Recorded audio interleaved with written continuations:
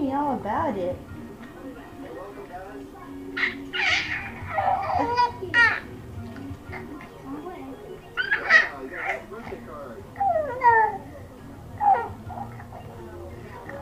We invited uh, friends from wow. church and uh, That's awesome. friends that do uh,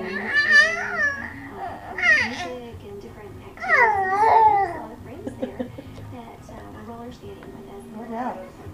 Tell me more. More.